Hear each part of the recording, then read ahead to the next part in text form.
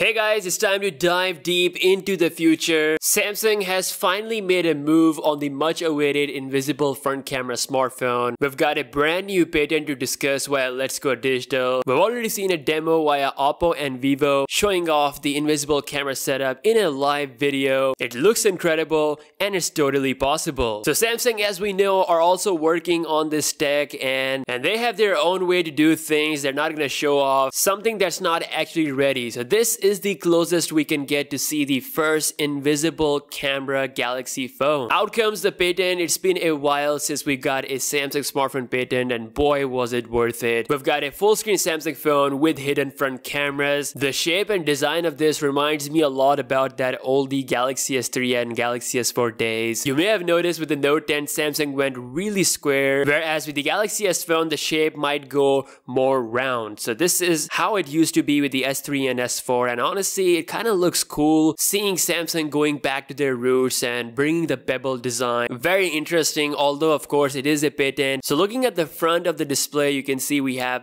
just the screen with the front camera under the display all hidden along with the earpiece and speaker. The whole look of the phone is super curved kind of like the first full screen Galaxy Z phone that was leaked last year. Back then we didn't know where the front camera and sensors are but now it makes sense because we know that the front camera is going inside the display. There is a dual camera setup on the back, of course, for demonstration purposes. With the next generation of Samsung phones, we're gonna see more and more cameras. But what this patent design shows is that when Samsung actually do its hidden camera design, the phone will be completely 3D looking. Like this phone has almost no bezels. Imagine if this comes out in real life, then it might be the most bezel-less phone on the market. This is what the future holds. The patent proves that Samsung is indeed working hard and I'm sure there will be more patents in the future explaining this tech further. Now in the article while Let's Go Digital it's been mentioned that Galaxy S11 could actually get an invisible camera since with the Galaxy Note 10 we already have a smaller hole towards the middle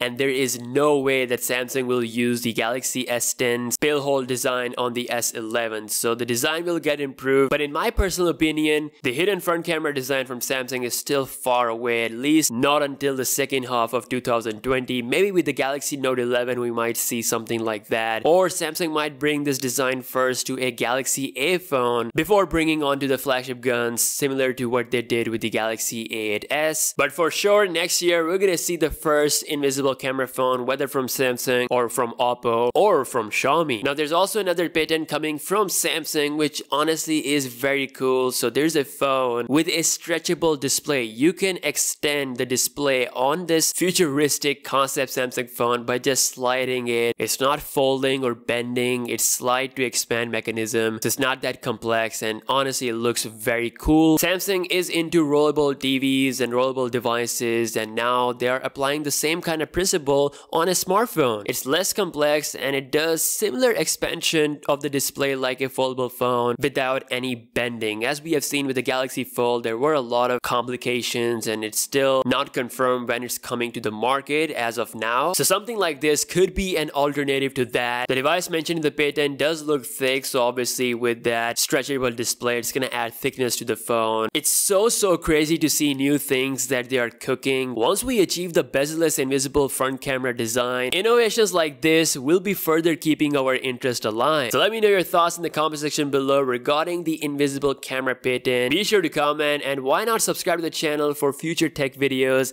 and I'll catch you guys in the next one. Peace out.